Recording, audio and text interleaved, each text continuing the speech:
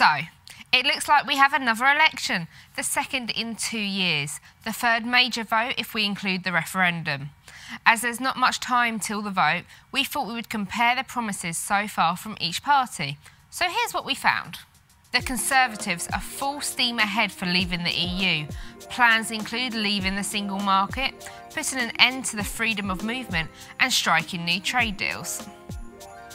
In order to support working families, Tories are pledging to cap energy bills, and the party will also continue to push their plan for more grammar schools across the UK. On the subject of taxes, Theresa May is strangely quiet. Labour's really focused on the NHS. Reforms include an end to the 1% pay cap for NHS staff and scrapping tuition fees for nurses and midwives. With regard to schools, the party plan to extend free meals and are looking at capping class sizes to improve learning.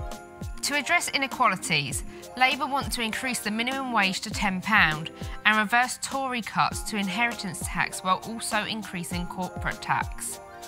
With regards to Brexit, Labour will reject Theresa May's plan altogether, but they haven't yet said what their alternative is. To try to regain some of the trust they lost in 2010, the Lib Dems are proposing that graduates won't have to repay their student loans until they're earning a much higher salary than the level currently set. The party will also set up a new tax to fund the NHS and improve social care.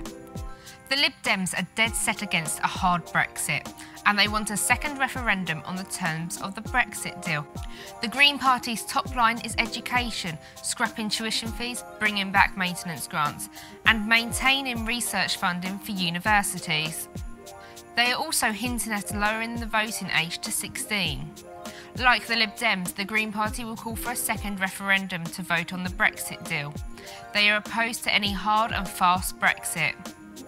UKIP have announced they would enforce a ban on burqa. UKIP are also strongly against female genital mutilation. Plans include stricter laws against parents and medical checks for girls at risk. They also plan a 10 billion a year cut in the foreign aid budget. UKIP strongly backed Brexit last year and leader Paul Nuttall wants a swift Brexit.